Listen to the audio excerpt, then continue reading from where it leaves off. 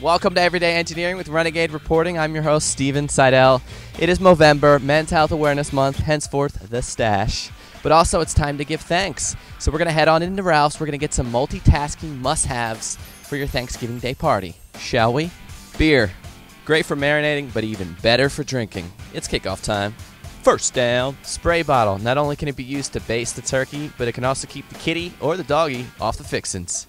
Fellas, download the Slingbox app to your telephone so you can watch live football on your phone at the same time listening to your ladies, but more importantly, following your fantasy football team. Ziploc, one word, leftovers. You cover them or you carry them. Now that's on the go. Ice cube trays. They could be used to put the gravy in and freeze for a later date. You can put them in those Ziploc bags that you have and use for either broths or slower cooked meals. Too much to eat? Use your girlfriend's hair tie to extend your waistline. The Food Tracker app lets you know how many calories you're really consuming.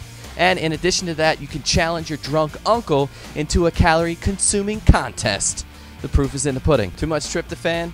Put down the turkey, pick up a jump rope or an extra dog leash work off the pumpkin pie, and raise those endorphin levels. That's it for today, folks. Everyday Engineering with Renegade Reporting. Check us out on Twitter at Renegade RPTG. I'm your host, Stephen Seidel. Happy Thanksgiving.